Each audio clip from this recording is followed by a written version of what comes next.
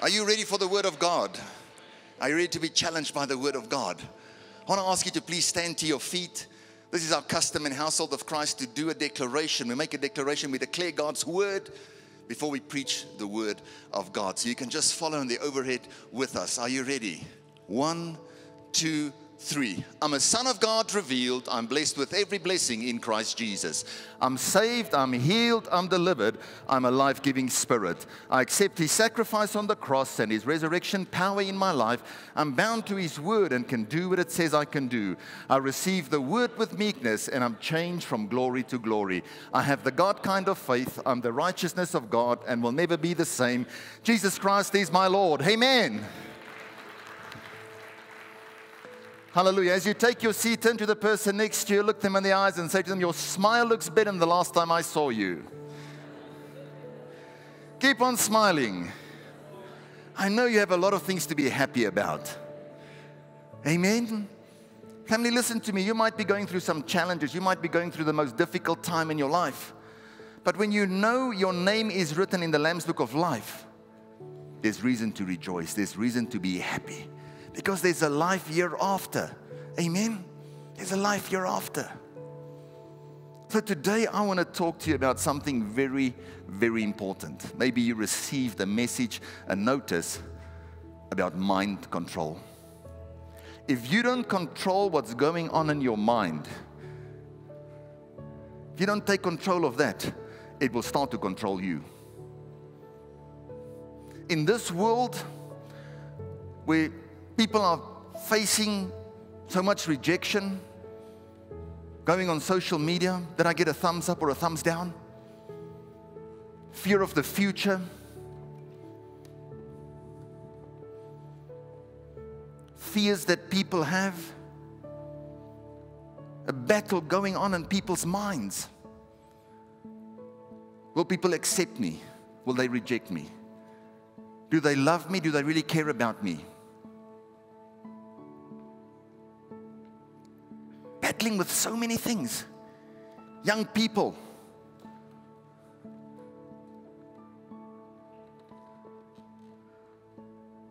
Thoughts of self hatred, thoughts of anger, thoughts of suicide. The thing that I've been praying against more than anything the last two weeks suicide spirit of suicide that's coming against people. People in a place where they just feel they've lost all hope. Don't have to raise your hand, you can just double blink at me. Especially this time of the year where you think things should have changed by now. I thought this would have happened by now and nothing has changed. Am I talking to the right people? You've worked so hard to see change and nothing has changed. It's taking longer than what you thought. There's a battle going on in your mind. Family, listen to me. Your mind is the watchman. You have to be very careful what you look at, what you listen to, because it affects the way that you start to think, it affects what you start to meditate upon. Many people are facing challenges because you're having too many conversations in your head that's not led by the Holy Spirit. Many of us did it before we knew God. You'd look at a guy and you're smaller than him, you look, I'll beat you up. I'll beat you up so hard. I'm to smack you down. I'm to kick you here. I'm to, and you start thinking all these things. Then you start saying it to your friends. You know what? That guy's looking funny at me. I'm to and the next minute you go and do that.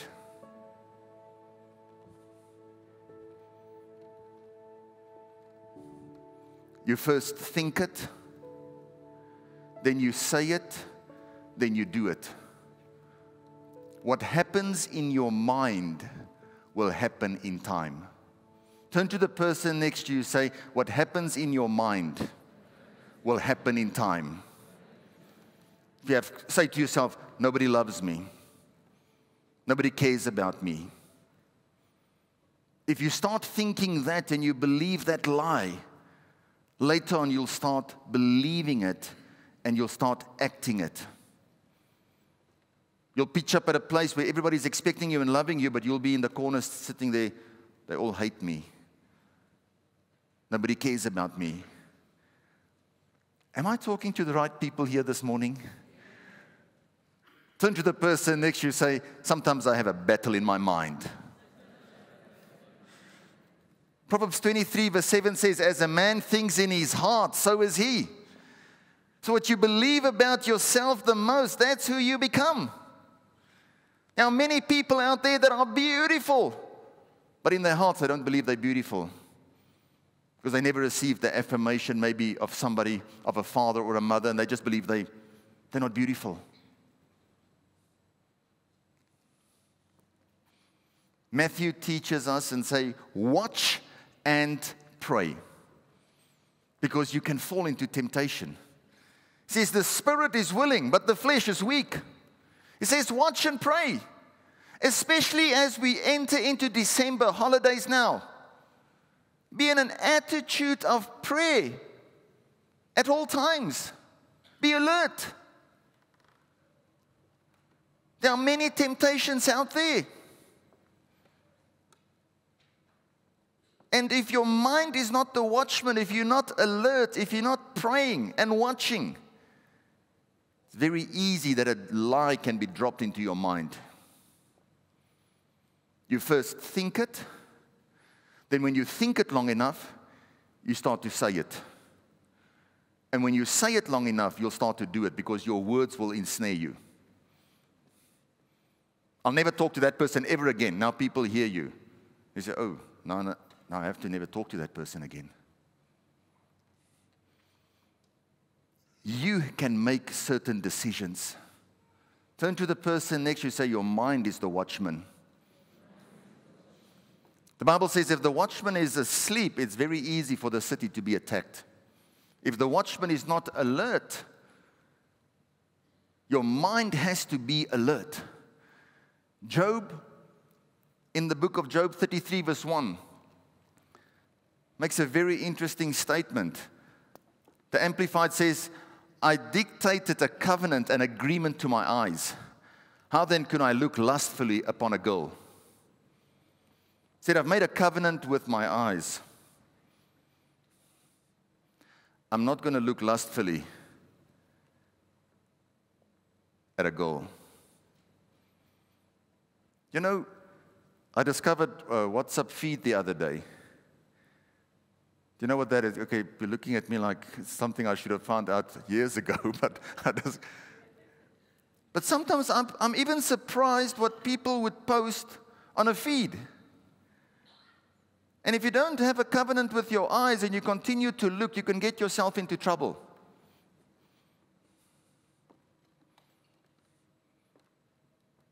Turn to the person next to you, say, Be careful what you look at. We're talking here to the church, amen? We want to live a life that is pleasing to God. So we have to be careful at what we look at, what we listen to, because it can affect our behavior. When people say, I just did it, that's nonsense. That's not in the Bible. Not one amen. Okay, just double blink at me. Turn with me in your Bibles to the book of James.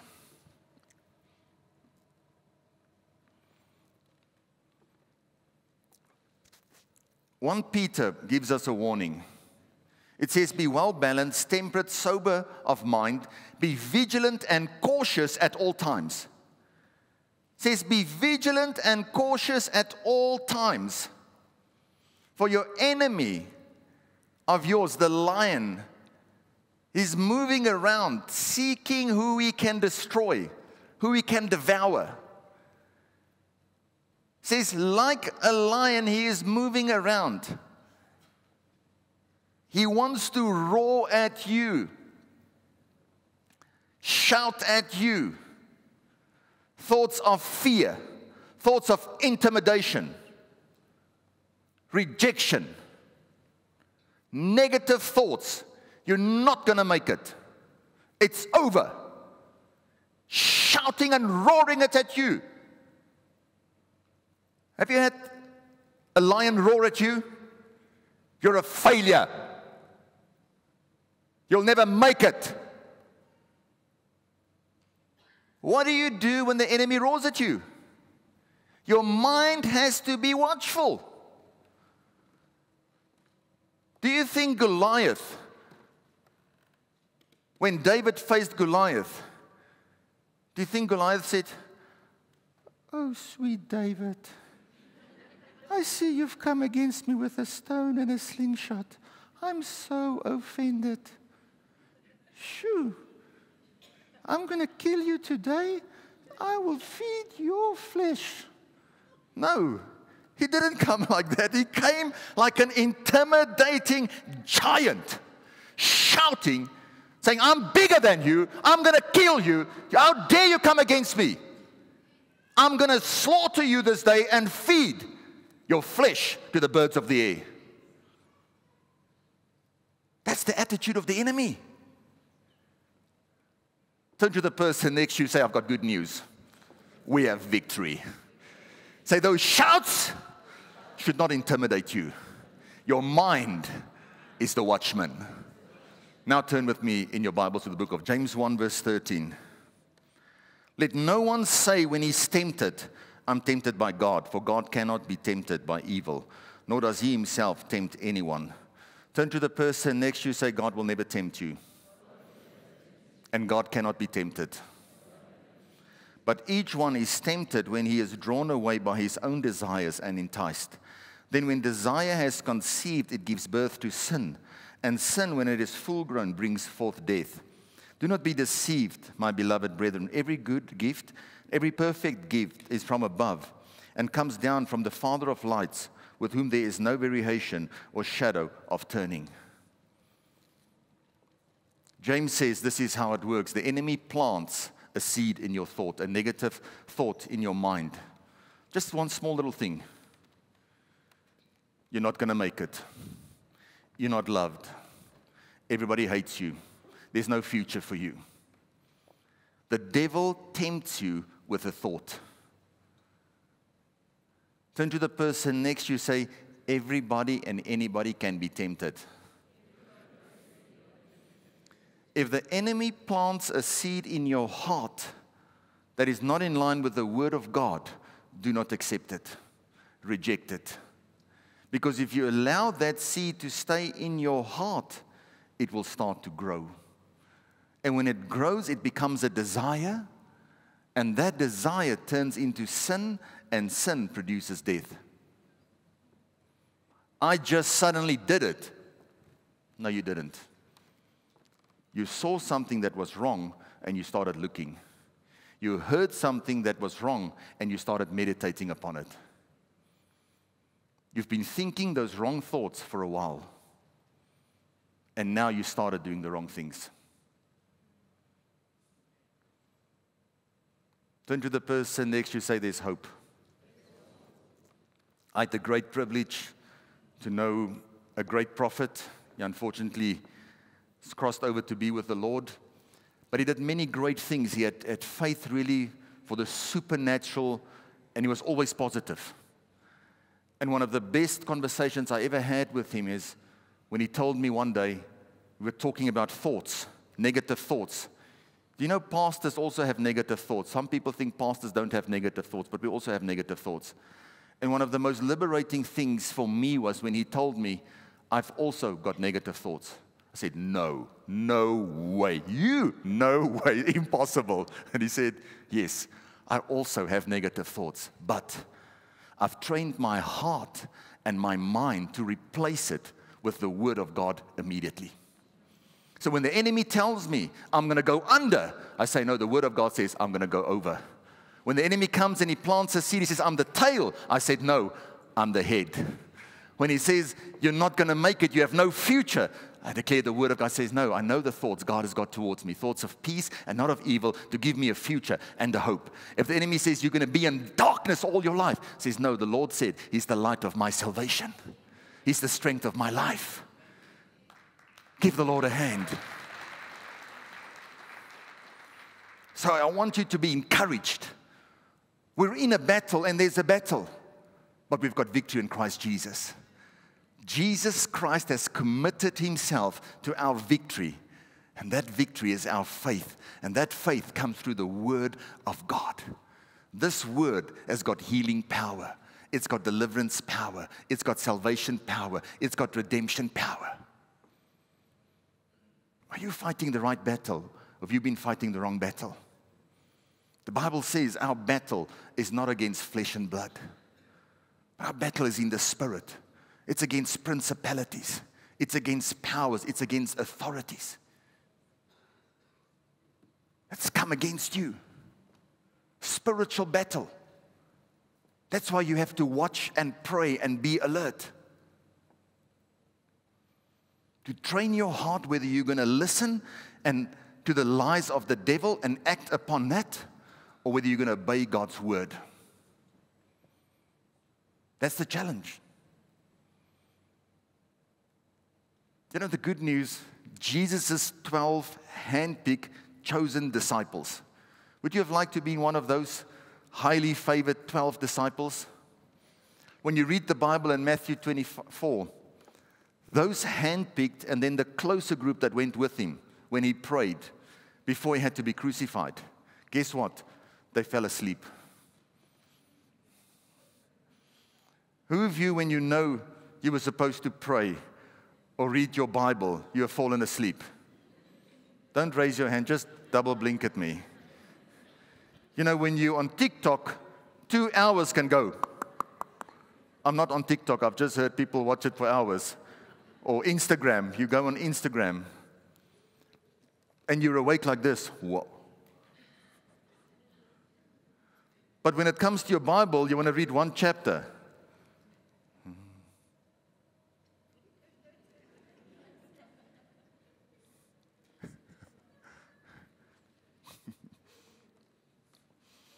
Jesus said to his disciples, Could you not watch with me for one hour? And I'm thinking, God, what are you saying to us? Hour. I mean, most people, if you have to say to them, pray for an hour, what would happen? Turn to the person next to you, say, watch and pray. Family, there is an instruction for us to be in an attitude of prayer. We are in a warfare. If you want the victory, warfare is necessary but the right battle. The right battle. Are you ready to watch and pray? Watch and pray, watch and pray. Not start praying next year, now already. We don't walk by what we see, we walk by faith. Walk by faith. So you have to allow the Word of God to become the standard for your life. If you observe closely, you'll see when you've missed the mark is when you've allowed yourself to start thinking negatively, then you started talking negatively, and then you started doing negative things.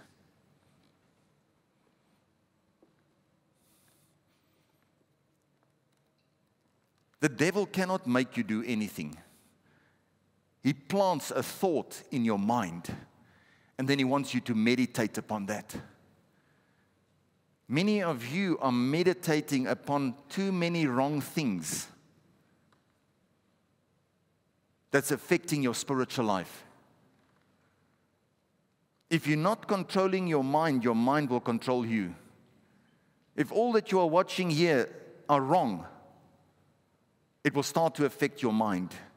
And after a while, it will start to affect your speech because what you meditate upon gets established in your heart. And out of the good treasure of a man's heart, he brings forth either good or if there's bad things, he brings forth bad. So if there's good things in your heart, you'll start saying good things. But if there's bad things in your heart, you're meditating and looking only at negative things, you'll start to speak these negative things. Then you'll start doing negative things. Can I give you some good advice to close this year off? As you go on holiday now, go and think about the things that you've been talking about. Because this heart will always snitch on you. Your heart will show you what's really going on by what you are talking about. When you're just with friends casually, what are the things coming out? Here in church, everybody wants to say the glass is half full. But it's when you're on your own with your friends and family, then we know if the glass is really half full or if it's half empty. Amen? Make a decision. Allow your mind to be the watchman.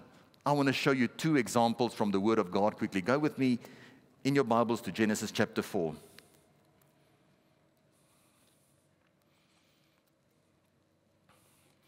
The good news is God will always warn you. God will always warn you when there's negative thoughts. But it's there when we reject the word or accept the word of God. Look at this, Genesis 4:17. God is speaking to Cain. He says, "If you do well, will you not be accepted? And if you do not do well, sin lies at the door, and its desire is for you, but you should rule over it." Says the things that you are thinking, Cain, it's wrong. Those things that you are thinking upon, well, very soon you'll start saying these things, and then very soon you'll be doing it. Says, Don't think upon these things that are wrong. Do what is right. You want to do the wrong thing because you're thinking the wrong thing. Stop thinking the wrong thing. Control your thoughts.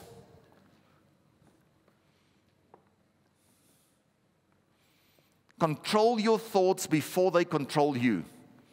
Replace it with the Word of God. You know why he had this conversation, why this battle was going on on the inside? Because he compared himself to his, his brother. And that thought that was planted in his heart grew to sin. Satan rules through sin. Turn to the person next to you say, Satan rules through sin. He does nothing without sin. So if you know that, your actual enemy is sin.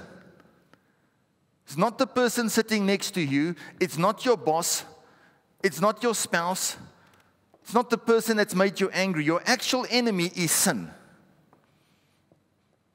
Jesus says, Watch and pray, be careful that that thought does not get planted because if it starts to grow, it will manifest.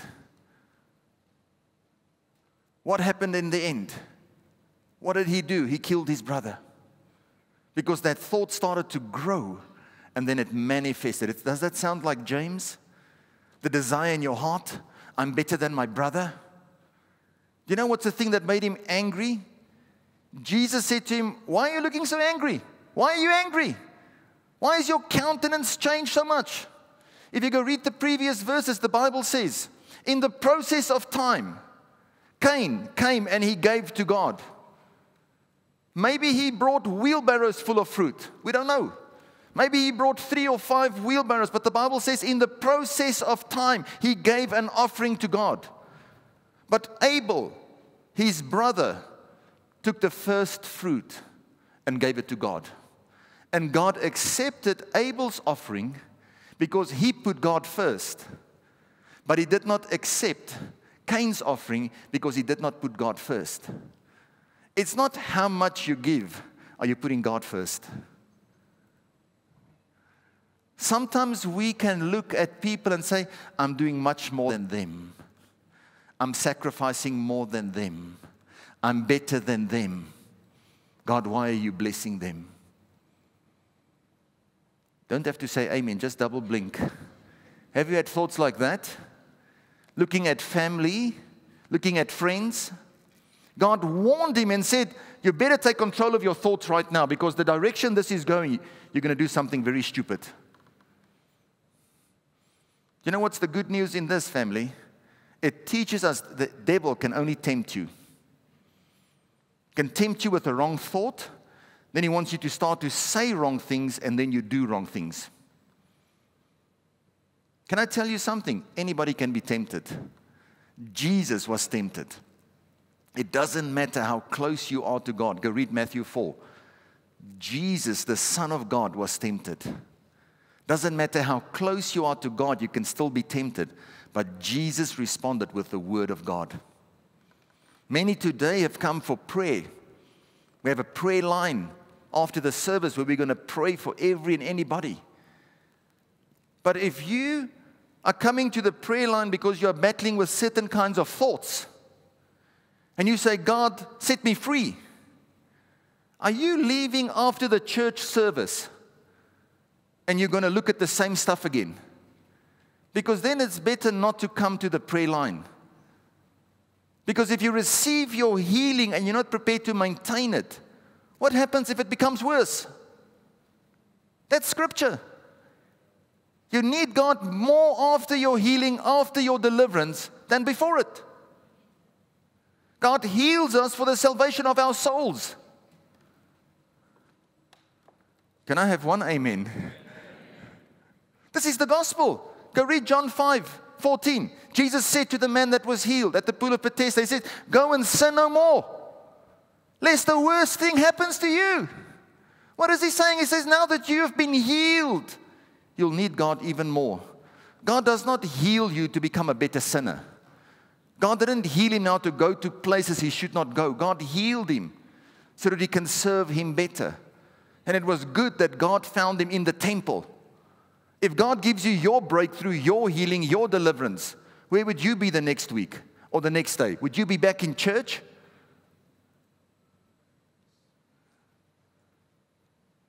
Amen. Amen. In your mind, you're having those conversations already, and God can see it.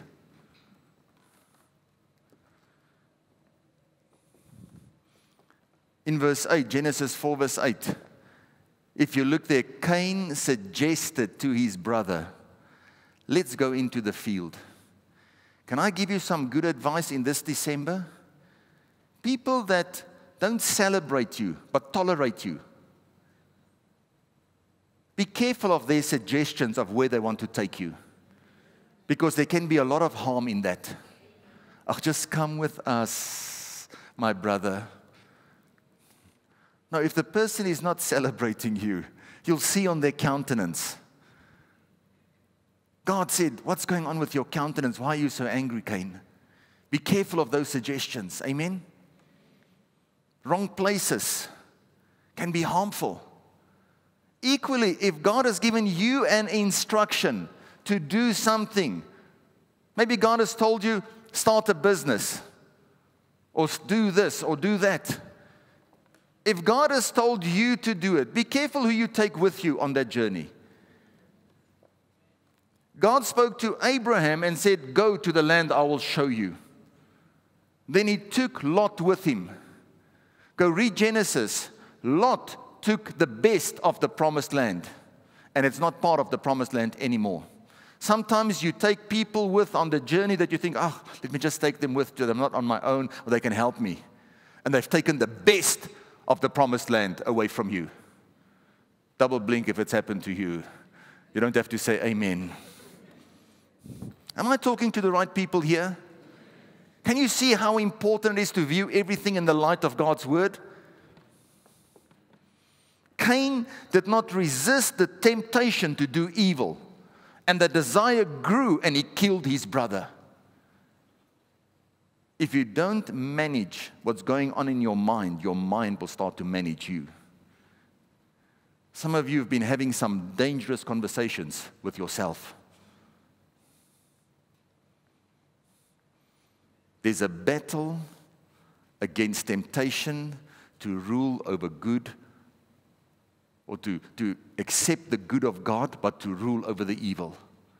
The devil can only tempt you, but you can resist that temptation. Amen. Your mind is the communication point where the enemy will drop thoughts, but God will also give you instruction in righteousness. The Word of God, every time you read the Word of God, every time you read the Word of God, it's instruction in righteousness. Hebrews 4, verse 12 teaches us that the Word of God has got the ability to discern the innermost thoughts and desires in your heart. What does James say? He says, Those thoughts, when they become desires, that's when you act in the wrong way. But the Word of God, when it cuts into your heart, it will show you these thoughts, these desires. These thoughts, one thing I've desired of the Lord that I may dwell in the house of the Lord, that's a good desire. Continue to meditate upon that. But those wrong desires, it always show that. Hmm, that's anger that you have. Cain against Abel. If you don't start ruling over it, it's going to take control of you and destroy your life. That's why you have to spend time in the Word of God. Do you want God to do double in your life next year? Restore double? Maybe you should cut down on whatever time you are doing here and double up on this time. Because this has light, this has life. Amen? Say amen like you mean it. Are you going to double up on this?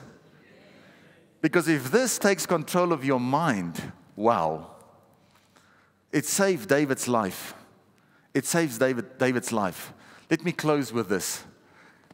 Go quickly to the book of 1 Samuel 24, verse 9. Oh, I'm, I'm just going to quote it. You know the story. Let me give you two examples. Here is David. Saul is trying to kill him. He's hunting him. He's made it public that he wants to destroy him. Now he's in a cave. David is in the cave. Everything looks perfect from a natural point of view. David can kill Saul. A matter of fact, his friends, his companions next to him are whispering in his ears, This is God. Look what God has done. Kill him. Kill him and you're king. I mean, nobody is going to know. David listens to his conscience and he says, No, I cannot kill the Lord's anointed. He cuts off a piece of the robe, but he does not yield, he does not bow the knee to the temptation to grow in his heart to kill Saul. He walks out and he says, Saul, what you're doing is wrong. You're hunting me. You want to kill me. But I've not done it. I had the opportunity, but I didn't do it. I ruled over the temptation. Another example in the New Testament, you can go look, you know the story about Herod and how John the Baptist was beheaded. It was Herodias' daughter. He said to her, Ask of me anything, and I'll do it. And here she comes and she says, I want you to chop off the head of John the Baptist. Family, now let me just say to you this.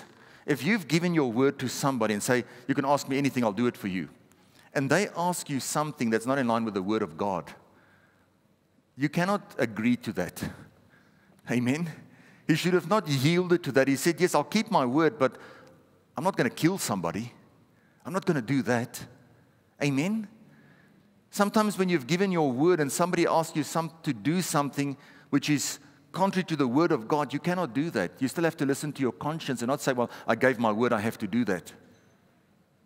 Amen. We have to yield to the Holy Spirit. The Holy Spirit will lead and guide us in everything. It's when you yield to the Holy Spirit that you start to have the mind of Christ.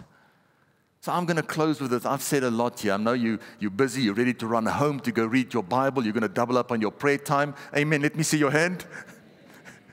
So I'm taking control of my mind, Lord.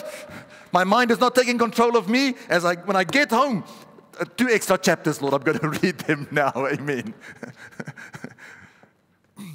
it's a battle. The Jesus' disciples fell asleep. Jesus said, Watch and pray. Be careful that you don't fall into temptation. He said, The spirit wants to do the right thing, but your flesh is weak. So here's the Bible way. I'm going to close with this Joshua 1 8. We know now if you see a wrong thought, that wrong thought if you start to meditate upon it, it fills your heart, you'll start to say it. And if you start to say it, soon you'll be doing it.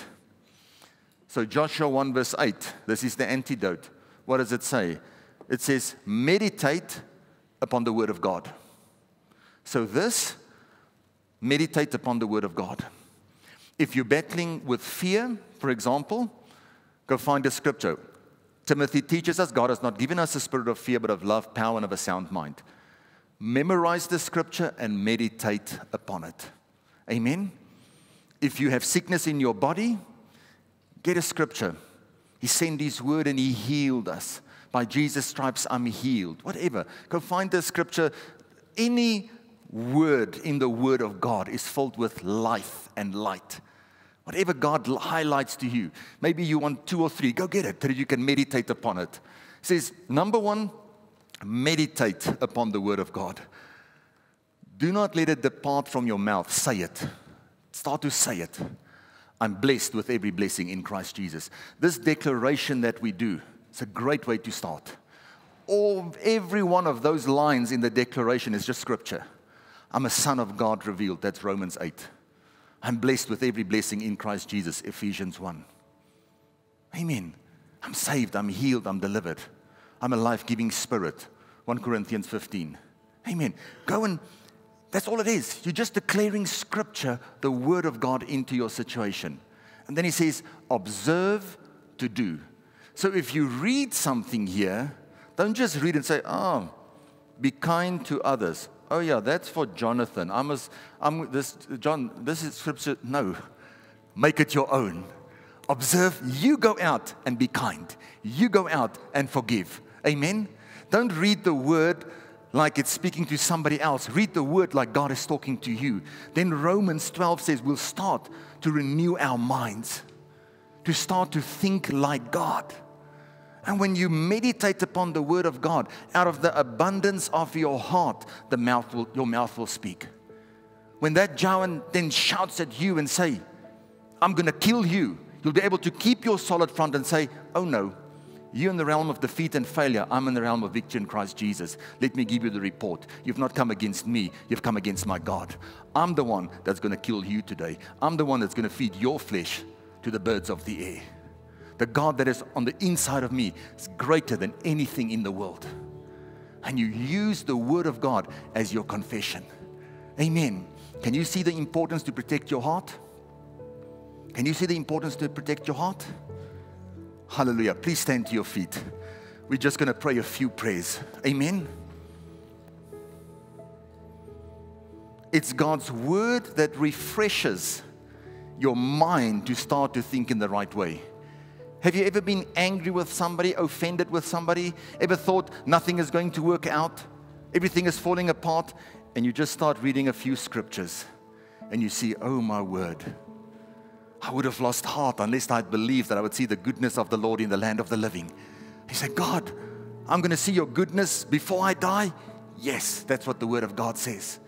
Amen. So let me hear you pray. Say, Act in me, Lord. Say, Act in me, Lord that my thoughts will be holy. Pray it again. Say, Act in me, Lord, that my thoughts will be holy. Say, Act in me, Lord, that my words may be holy. Act in me, Lord, that my words may be holy. Act in me, Lord, that my deeds may be holy. Make my words as pure and holy as yours. In Jesus' mighty name. Pray it again. Say, Make my words as pure and holy as yours. As pure and holy as yours. In Jesus' mighty name. Say, Precious Holy Spirit, bind our hands that we may do no evil. Bind my hands that I may do no evil. Sanctify our hearts so that evil may not dwell within us. Lord, make us watchful, make us faithful, that we may not slip and sin, but be active in your service and joyful in your praise. Precious Father, grant unto us hearts that are humble, hearts that are sincere, hearts that are quick to forgive hearts that will not be grudges, hearts that are quick to forgive, hearts that will not be grudges, Sanctify my heart with your blood. In Jesus' mighty name we pray. I want you to put your hands on your head right now. Say, Precious Father, help me. Right now, I take every thought, every argument, every vain imagination, everything that exalts itself above Christ. I take it captive and I bring it in line with the mind and the will of the Lord Jesus Christ. I declare I have the mind of Christ. Help me, Holy Spirit, to think upon things from above, things that are holy, things that are pure, things that are righteous, things that come from your throne room. In Jesus' mighty name. In Jesus' mighty name. And everybody said, Amen. Give the Lord a hand. Sometimes, when there's so many things going on, and you've been replacing every negative thought with the Word of God, and it's still a battle, these are our weapons. You take those thoughts captive and bring them in line with the mind and the will of the Lord Jesus Christ. Take some time, meditate upon those scriptures. Amen. I want everybody to put their right hand on their heart, raise your other hand to heaven, pray this prayer aloud after me. Say, Precious Father, my situation is beyond human means. I need the Savior of the world to save me. Save me, Lord Jesus. Wash me with your blood. Cleanse me from all unrighteousness. I confess with my mouth, and I believe with all my heart that Jesus Christ died for me, that He's alive right now, making intercession for all my weaknesses. Oh, Holy Spirit, help me to live a holy life, well pleasing in your sight. I am now a child of the Most High God. In Jesus' mighty name. Everybody said, Amen. Hallelujah. Give the Lord a hand. If you've prayed that prayer in humility and sincerity of heart, your sins are forgiven. Your past is over. Don't mention your past ever again. Your past is Egypt. It's a place of bondage where Israel found themselves, and God took them out of Egypt into the promised land. Amen. Think upon things of the promised land, the good things that God has planned for you. Amen. If you want to grow spiritually, if you want to make sure that you are strong, surround yourself with people that are watchful and prayerful. Connect to a team. Turn to the person next to you, say, connect to a team. What does that mean? It means get submitted and committed in a church. Amen. The second thing that you're going to have to do is you're going to have to discover the dream, discover your gifts, discover your talents that God has given you so that you can use it to advance the kingdom of God. And then lastly, use those gifts in the body of Christ, serve in a dream team. So you connect to a team, discover the dream on the inside, and then serve in the dream team. It's not just discovering it, but using it to advance the kingdom of God. Amen. Has your faith been lifted? Are you going to take control of this mind? You are in control of this. Amen. By what you meditate upon, but what you look at. Amen. Hallelujah.